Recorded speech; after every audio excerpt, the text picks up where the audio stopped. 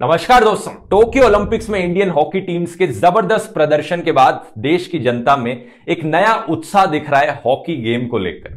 दोनों ही men's hockey team और वुमेन्स हॉकी टीम ने एक कमाल की परफॉर्मेंस दिखाई है जो कई मायनों में ऐतिहासिक थी। तो कोई बड़ी बात नहीं है ये कि अब लोगों को भी ज़्यादा इंटरेस्ट आ रहा है हॉकी को देखने में। आज की जनरेशन को सुनकर शायद हैरानी हो, लेकिन एक टाइम था ऐसा इंडिया में दोस्तों, जब हॉकी इंडिया का सबसे पसंदीदा स्पोर्ट हुआ करता था। लेकिन इतिहास में एक समय ऐसा आया जब क्रिकेट ने हॉकी को ओवरटेक कर लिया पॉपुलैरिटी में। लोगों को क्रिकेट ज़्यादा पसंद आने लगा। ऐसा क्या हुआ कि हॉकी की पॉपुलैरिटी कम हो गई जनता के बीच और क्रिकेट इतना पॉपुलर बन गया? क्या हॉकी अपनी पॉपुलैरिटी को वापस रिवाइव कर सकता है इंडियंस के बीच? आइए आज के वीडियो में इन सवालों के जवाब जानने की कोशिश करते हैं। इस बार ही अपनी कहानी को शुरू करते हैं दोस्तों साल 1936 से। जर्मनी में एडोल्फ हिटलर का राज था। इस बारी के ओलंपिक गेम्स जर्मनी की राजधानी बर्लिन में हो रहे थे। हॉकी का फाइनल मैच था इंडिया वर्सेस जर्मनी। इंडिया की मेंस हॉकी टीम थोड़ी नर्वस दिख रही थी, क्योंकि इससे पहले एक मैच में जर्मनी ने इंडिया को हरा दिया था। लेकिन इंडिया के पास एक स्पेशल प्लेयर था, जिन्हें हम विजिड या जादूगर करके पुकारते थे। इन प्लेयर का नाम था ध्यानचंद। इंडिया ने यह गेम बड़ी रफ्तार के साथ खेला। जर्मनी ने अपनी पूरी कोशिश करी जीतने की, लेकिन जर्मनी सिर्फ़ एक गोल स्कोर कर पाया इंडिया के अगेंस्ट। दूसरी तरफ़, इंडिया ने आठ गोल्स स्कोर करे जर्मनी के अगेंस्ट। आठ गोल्स। इनमें से तीन गोल्स स्कोर किए गए थे सिर्फ़ ध्यानचंद के द्वारा। यह गेम बड़ा ही ऐतिहासिक था। ध्यानचंद की परफॉर्मेंस से इंप्रेस होकर एडोल्फ हिटलर ने ध्यानचंद को जर्मन सिटीजनशिप ऑफ़र करी। और यह तक कहा कि तुम्हें हम जर्मन आर्मी में जगह दे देंगे। लेकिन ध्यानचंद उन लोगों में से नहीं थे जो किसी डिक्टेटर के सामने घुटने टेकते। ध्यानचंद ने एडोल्फ हिटलर के मुँह पर कह दिया, India is not for sale. ये प्राइज डिस्ट्रीब्यूशन सेरेमनी के दौरान था कि यह सुनकर पूरा स्टेडियम शांत हो गया। लोगों को डर था कि हिटलर के मुँह पर ऐसा बोलना, कहीं हिटलर गोली ना मार दे ध्यानचंद को इसके रिप्लाई में। लेकिन फॉर्चुनेटली ऐसा कुछ नहीं हुआ। उल्टा हिटलर इंप्रेस ही हो गए ध्यानचंद से और भी ज़्यादा। और इनफैक्ट ये जो विजर्ड ऑफ़ हॉकी का टाइटल दिया जाता है ध्यानचंद को, ये एक्चुअली में पहले हिटलर ने ही दिया था। मतलब क्या कहानी है ये भी। बिलीव इट और नॉट दोस्तों, ये हमारा तीसरा कॉन्जिक्यूटिव गोल्ड मेडल था हॉकी में ओलंपिक्स में। और शायद इससे भी ज़्यादा अनबिलीवेबल चीज़ ये है कि इसके बाद इंडियन हॉकी टीम ने जाके पाँच और गोल्ड मेडल जीते। इंडिया इस समय में लिटरली वर्ल्ड चैंपियन था हॉकी का। ध्यानचंद द विजर्ड की कहानियाँ स्कूलों में गई, घरों में सुनाई गई बच्चों को। देश भर में इनकी कहानियाँ फैली और हम लोग एज इंडियंस काफ़ी प्राउड थे अपने हॉकी प्लेयर्स को लेकर। वैसे क्या आप जानते हैं दोस्तों हॉकी का जो गेम है, ये एक्चुअली में ओलंपिक से भी ज़्यादा पुराना है। अगर हम हॉकी के इतिहास में जाएँ तो हॉकी जैसा सा ही एक रफ गेम खेला जाता था ईरान इजिप्ट और इथोपिया में। होता क्या था? एक छोटी सी डिस्क होती थी जिसे पक कहते हैं हम, और डंडियों से इसे इधर उधर मारकर खेलते थे। आज के दिन जो आइस हॉकी होती है, वो भी इसी तरह से ही खेली जाती है एक डिस्क के साथ। लेकिन जो मॉडर्न गेम था फ़ील्ड हॉकी का, ये एक्चुअली डेवलप किया गया था ब्रिटेन में एटीन सेंचुरी में। और जैसे ब्रिटिश ने क्रिकेट को पॉपुलर बनाया इंडिया में इंडिया में हॉकी को पॉपुलर बनाने का क्रेडिट भी ब्रिटिश को ही जाता है। हॉकी क्लब्स पहले फॉर्म होने शुरू हुए कैलकाटा और बॉम्बे जैसे शहरों में। ब्रिटिश ने हॉकी टूर्नामेंट्स भी ऑर्गेनाइज करवाए, जैसे कि ब्रिटेन कप। और इंडियंस काफ़ी जल्दी ही बड़े अच्छे खिलाड़ी बन गए हॉकी में। हमें छोटे बड़े शहरों से बड़े बड़े प्लेयर्स मिलने लगे। इनफैक्ट इवन आर्मी कंटोनमेंट से। ध्यानचंद और उनके भाई रूप सिंह, जो दोनों ओलंपिक्स में खेले थे, एक्चुअली में इन्होंने हॉकी खेलनी शुरू की थी। झांसी कंटोनमेंट में। इसके बाद जल्द ही इंडियन हॉकी फेडरेशन की स्थापना हुई और कुछ सालों बाद इंडियन हॉकी टीम ओलंपिक्स तक में खेलने गई। शुरुआत में हालाँकि सिर्फ़ मेंस हॉकी टीम थी यहाँ पर। लेकिन जो इसके बाद हुआ, वो हिस्ट्री है। 1928 के बाद से इंडियन हॉकी टीम ने छह गोल्ड मेडल जीते और लगातार 24 मैचेस एक के बाद एक जीते। अलॉन्ग विद ध्यानचंद एक और हॉकी प्लेयर है जिनका नाम मैं यहाँ पर मेंशन करना चाहूँगा। ये है जयपाल सिंह एक रांची के प्लेयर जिन्होंने अपनी पढ़ाई ऑक्सफोर्ड में कंप्लीट करी थी। इनकी कहानी इंटरेस्टिंग इसलिए है क्योंकि इंडियन हॉकी टीम के कैप्टन बनने के बाद ये हमारी कॉन्स्टिट्यूएंट असेंबली के भी मेंबर बने थे। यानी वो लोग, वो ग्रुप ऑफ़ लोग जिन्होंने हमारा कॉन्स्टिट्यूशन लिखा था देश का। और साथ ही साथ इन्होंने रिजर्वेशन के लिए भी फाइट करी थी ट्राइबल कम्युनिटीज के लिए सरकारी नौकरियों में। In 7th and 15th grade high school. That joy, that happiness can't be explained. It can be experienced. I was thrilled. ये थे बलबीर सिंह सीनियर जिन्होंने दो विनिंग गोल स्कोर किए थे 1948 के ओलंपिक फाइनल मैच में इंग्लैंड के अगेंस्ट ये वाला ओलंपिक्स इंडिया के लिए बहुत स्पेशल था, क्योंकि ये पहला ओलंपिक्स था जो इंडिया ने एज इंडिपेंडेंट इंडिया खेला था, क्योंकि 1947 में देश आज़ाद हुआ था और चांस की बात थी कि ये फाइनल मैच ब्रिटेन के अगेंस्ट ही था और इंडिया ने मैच जीत भी लिया। तो सिंबॉलिकली सोचकर देखिए कितनी बड़ी चीज़ थी 1948 की इस ओलंपिक विक्ट्री के बाद हॉकी और भी ज़बरदस्त तरीके से पॉपुलर बन गया देश में। देश के जनता के जो सेंटिमेंट्स हैं और नेशनल प्राइड है, वो काफ़ी अटैच्ड हो गई इंडिया की हॉकी टीम से। 1970s और 80s के अराउंड इंडिया की जो वुमेन्स हॉकी टीम थी, उन्होंने भी अच्छी परफॉर्मेंस दिखाई। जैसे कि एक ओलंपिक्स में जो मॉस्को में हुई थी 1980s में, वो फोर्थ पोजीशन पे आए थे। इस समय के अराउंड अगर आप किसी से पूछते कि इंडिया का सबसे पसंदीदा स्पोर्ट कौन सा है तो एक स्कूल का बच्चा भी आपको फट से जवाब दे देता, हॉकी।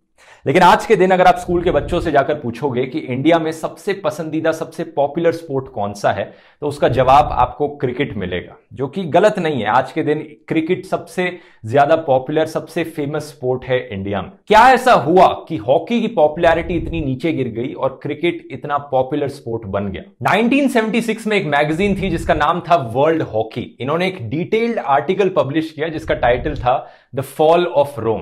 अब यहाँ पर ये रोम की बात नहीं कर रहे थे एक्चुअली में, ये रोमन सिविलाइजेशन को इंडियन हॉकी से कंपेयर कर रहे थे।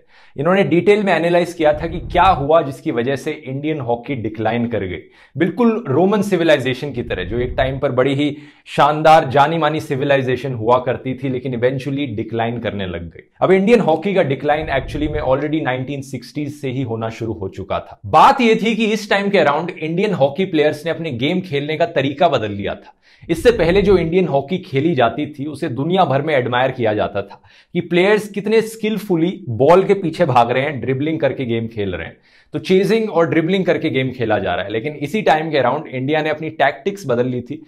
अब हॉकी प्लेयर्स थोड़े वेस्टर्न टैक्टिक्स इस्तेमाल करने लग गए थे। ये जो नई टाइप की हॉकी ये खेल रहे थे, इसमें बॉल के पीछे भागने की जगह ये प्लेयर्स के पीछे भाग रहे थे। Chasing the man instead of chasing the ball ये पॉइंट ऑफ़ क्रिटिसिज्म एक्चुअली में एक जर्मन हॉकी प्लेयर ने किया था उस टाइम के अराउंड इंडियन हॉकी टीम को लेकर। लेकिन ये इकलौता रीजन नहीं था। इसके बाद एक और बड़ा चेंज हुआ। 1975 में इंटरनेशनल हॉकी फेडरेशन ने कहा कि जिस फ़ील्ड पर हम हॉकी खेलते हैं, हम उसे ही बदल डालेंगे। इससे पहले हॉकी घास पर खेली जाती थी ग्रास पर। इसके बाद इन्होंने कहा कि अब से हम हॉकी एस्ट्रो टर्फ पर खेलेंगे, जो कि बेसिकली आर्टिफिशियल ग्रास होगी। आज के दिन जो आप ब्राइट ब्लू कलर की और पर्पल कलर की फील्ड्स टीवी पर देखते हैं हॉकी मैचेस में, वो रबर की बनी होती हैं। और ये एक बहुत बड़ा चेंज था इंडियन हॉकी टीम के लिए, क्योंकि इंडियन हॉकी प्लेयर्स को आदत थी घास पर खेलने की। ग्रास फील्ड्स पर Indian hockey players actually ball को ट्रैप कर सकते थे ग्रास के ब्लेड्स के बीच में ड्रिबल कर सकते थे और बड़ी स्किलफुली पास ऑन कर सकते थे। दूसरी तरफ़ एस्ट्रोटर्फ्स में फ्रिक्शन कम था तो बॉल को अब स्ट्रैटेजिकली पास अराउंड करने से ज़्यादा फ़िज़िकल स्ट्रेंथ की ज़रूरत थी, तेज भागने के लिए और गेम खेलने के लिए। और ये एक एडवांटेज था यूरोपियन प्लेयर्स के लिए as compare to Indian players शायद इससे भी बड़ी प्रॉब्लम ये थी कि इंडिया में एस्ट्रोटर्फ्स थे ही नहीं तो हमें पहले एस्ट्रोटर्फ्स बनाने पड़े और इन्हें बनाना काफ़ी महँगा पड़ता था तो हम इतने सारे एस्ट्रोटर्फ्स बना भी नहीं पाए। तो प्लेयर्स को प्रैक्टिस करने के लिए सफिशियंट जगह ही नहीं मिल पाई। प्लेयर्स प्रैक्टिस नहीं कर पाए तो उनकी परफॉर्मेंस पर फ़र्क पड़ा, जिसकी वजह से ओलंपिक्स में इंडिया की परफॉर्मेंस बेकार रही। जब ये फ़ील्ड चेंज करने का डिसीज़न लिया गया तो इंडियन हॉकी फेडरेशन ने इसे बिना ज़्यादा रोक टोक के एक्सेप्ट कर लिया। कई लोग फेडरेशन के अंदर की पॉलिटिक्स को इसके पीछे रिस्पॉन्सिबल मानते हैं। आज के दिन तक इस स्टेप को क्रिटिसाइज किया जाता है कि क्यों नहीं इंडियन हॉकी फेडरेशन ने जाकर इंटरनेशनल हॉकी फेडरेशन के सामने आवाज़ उठाई कि हम नहीं चाहते यहाँ पर फ़ील्ड चेंज किया जाए, हम ग्रास फील्ड्स में ही खेलना चाहते हैं। अगर ऐसा किया होता तो शायद आज के दिन तक हॉकी ग्रास फील्ड्स पर खेली जाती, या फिर शायद नहीं भी। आज के दिन इतने समय बाद बताना मुश्किल है कि क्या असर हुआ होता अगर ये डिसीज़न ना लिया गया होता तो। धनराज एक रिटायर्ड हॉकी प्लेयर हैं जो देश में हॉकी के डिक्लाइन के पीछे यही सारे रीजंस बताते हैं। कि फेडरेशन में बैठे लोगों की ईगो बहुत ज़्यादा थी फेडरेशन के अंदर पॉलिटिक्स बहुत होती थी चेंज ऑफ़ टर्फ हुआ प्लेयर्स के स्टाइल में बदलाव आया जो जिस तरह से प्लेयर्स खेल रहे थे और प्लेयर्स और फेडरेशन के बीच में बहुत फ्रिक्शन था। इन्हीं सब रीजंस की वजह से इंडियन हॉकी टीम की परफॉर्मेंस नीचे जाती गई 1980s 90s और 2000s में। लेकिन दूसरी तरफ़ इसी समय के अराउंड 1970s 1980s में क्रिकेट की पॉपुलैरिटी इंडिया में बड़ी तेज़ी से बढ़ी। 1971 वो साल है जिसे रामचंद्र गुहा कहते हैं। इंडिया का कमिंग ऑफ़ एज हुआ। ये वो साल है जब इंडियन टीम इंग्लैंड गई थी टूर करने के लिए, एक टेस्ट मैच के लिए। इस पॉइंट ऑफ़ टाइम से पहले इंडिया ने एक भी मैच नहीं जीता था इंग्लैंड के अगेंस्ट लेकिन 1971 में ये बदल गया। Fourth day of test match था जब इंडिया ने ये टेस्ट मैच जीत लिया। और इंडिया को इंटरनेशनल रिस्पेक्ट मिलनी शुरू हुई क्रिकेट के गेम में। मोर इंपॉर्टेंटली इसी टाइम के अराउंड इंडिया में क्रिकेट का फ़ैन बेस डेवलप होना शुरू हुआ। एक रीजन इसके पीछे यह था कि बहुत से इंटरनेशनल क्रिकेट टूर्नामेंट्स इंडिया में होस्ट किए जाते थे। इंटरनेशनल टीम्स इंडिया में आती थी क्रिकेट खेलने के लिए। लेकिन इससे ज़्यादा इंटरेस्टिंग रीजन यह था कि जो नेशनल फ़ैन बेस था क्रिकेट का, वो एक तरह से हैबिट के द्वारा डेवलप हुआ। जो पड़ोस के लोग साथ में बैठकर, साथ में मिलकर रेडियो पर क्रिकेट की कमेंट्री सुनते थे। ये एक ऐसी हैबिट थी जो इंडिपेंडेंस के अराउंड शुरू हुई थी। आज तो लोग टीवी पर क्रिकेट देखते हुए उसकी कमेंट्री सुनते हैं, लेकिन उस टाइम पर लोग सिर्फ़ रेडियो पर कमेंट्री सुनते थे, क्रिकेट देखते नहीं थे। लेकिन फिर भी इसका मज़ा कुछ अलग ही था। जो सस्पेंस था सुनने में क्रिकेट को और लोगों के साथ बैठकर सुनने में, उसका मज़ा अलग था। और 1971 का मैच याद है, जिसके बारे में अभी मैंने बात करी थी, उसको आठ करोड़ लोगों ने देश भर में सुना था रेडियो पर बैठ कर रेडियो के अलावा न्यूज़पेपर्स और मैगजीन्स ने भी बड़े डिटेल्ड तरीके से क्रिकेट को कवर करना शुरू किया। वीकली मैगजीन्स छपने लगी, जैसे कि sports week, sports star, sports world, जहाँ पर आप क्रिकेट के बारे में सब कुछ जान सकते थे। और जो क्रिकेटर्स थे हमारे, वो एक तरह के सेलिब्रिटीज बन गए इन मैगजीन्स और न्यूज़पेपर्स की वजह से। तो क्रिकेटर्स की लिटरली फ़ैन फॉलोइंग बनने लग गई थी। क्रिकेटर्स सेलिब्रिटीज बन चुके थे। और अनफॉर्चुनेटली ये सारी चीज़ें हॉकी को नहीं मिल पाई। जो मीडिया कवरेज क्रिकेटर्स को दी जा रही थी, वो हॉकी प्लेयर्स को नहीं मिली। और क्योंकि मीडिया कवरेज की वजह से लोगों का ध्यान भी उसी तरफ़ गया तो पैसा भी फिर उसी तरफ़ फ्लो करने लगा। और 1983 की वर्ल्ड कप जीत के बाद क्रिकेट की पॉपुलैरिटी को इंडिया में बढ़ने से कोई नहीं रोक सकता था। इसके कुछ ही सालों बाद इंडिया में इकोनॉमिक लिबरलाइजेशन आई। फॉरेन इन्वेस्टर्स अब इंडिया में आ सकते थे मार्केट्स खुल गए थे। ब्रांड डील्स आने लगी क्रिकेट के लिए। बड़े बड़े एडवर्टाइजर्स ने क्रिकेट टूर्नामेंट्स के साथ टाइप करना शुरू किया और पैसा फ्लो इन करने लगा और देखते ही देखते बीसीसीआई दुनिया की रिचेस्ट और मोस्ट पावरफुल क्रिकेट बॉडी बन गई सिंपल सा लॉजिक है दोस्तों। अगर लोगों को सिर्फ़ क्रिकेट देखने में ही इंटरेस्ट है तो सारे बड़े एडवर्टाइजर्स ब्रांड्स और प्राइवेट कंपनीज़ भी क्रिकेट में ही पैसा लगाएँगे। और लोगों का ध्यान क्यों है क्रिकेट देखने में? क्योंकि Indian cricket team one of the best teams है। अपार्ट फ्रॉम कि इंडियन क्रिकेट टीम को सबसे ज़्यादा पब्लिसिटी भी मिलती है मीडिया कवरेज भी मिलती है। तो कुछ हद तक लोगों का ध्यान दूसरे स्पोर्ट्स में भी जा सकता है, अगर दूसरे स्पोर्ट्स में इंडिया के जीतने के चांसेस बढ़ेंगे। अब जैसे हॉकी को ही लेकर देख लीजिए, अभी ओलंपिक्स में इंडियन हॉकी टीम की इतनी अच्छी परफॉर्मेंस रही है तो लोगों का ध्यान भी अब हॉकी में आ गया है। लोगों को अगर लगता है कि इंडिया का जीतने का अच्छा चांस है तो और मोटिवेशन मिलती है गेम को देखने की चीयर करने की। लेकिन इसके अलावा एक बेसिक इंफ्रास्ट्रक्चर की भी ज़रूरत होती है जो देश में होना चाहिए, कि अगर कोई ये स्पोर्ट खेलना चाहता है तो वो एक्चुअली में खेल पाए, जिसके लिए सरकार के सपोर्ट की ज़रूरत है, पैसे की ज़रूरत है कि इंफ्रास्ट्रक्चर बिल्डअप हो पाए स्टेडियम्स हो ट्रेनिंग के लिए जगहें हो खेलने के लिए। और एडिशनली इसके अलावा मीडिया कवरेज फ़िल्मों में कवरेज से भी फ़र्क पड़ता है कि अगर फ़िल्मों में एक स्पोर्ट की बात करी जाएगी तो लोग उसे देखने के लिए और मोटिवेट होंगे, खेलने के लिए और मोटिवेट होंगे। बच्चों पर इसका एक कुछ ना कुछ इंफ्लुएंस ज़रूर पड़ेगा। लेकिन अगर हम सरकारी सपोर्ट वाले पॉइंट पर वापस आए तो यहाँ पर हॉकी को प्रमोट करने के लिए एक बड़ा क्रेडिट जाता है। उड़ीसा के चीफ मिनिस्टर नवीन पटनायक को। जिन्होंने पहले तो रिक्वेस्ट किया था हमारे प्रधानमंत्री को कि हॉकी को एक ऑफिशियल नेशनल स्पोर्ट डिक्लेयर कर दिया जाए। वैसे अगर आप जानते नहीं, हॉकी एक्चुअली में इंडिया का नेशनल स्पोर्ट नहीं है दोस्तों ऑफिशियली कहें तो।